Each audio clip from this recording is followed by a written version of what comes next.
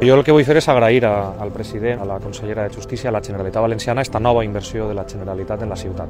En este moment n'hi ha 90 milions d'euros d'inversions, entre les quals el Palau de Justícia és probablement una de les inversions més destacades. Un edificio que, que va a albergar de momento 11 órganos judiciales, que va a atender a más de 150.000 personas y, y, que además es un edificio que no solamente eh, va a responder a las necesidades del presente, sino sobre todo del futuro.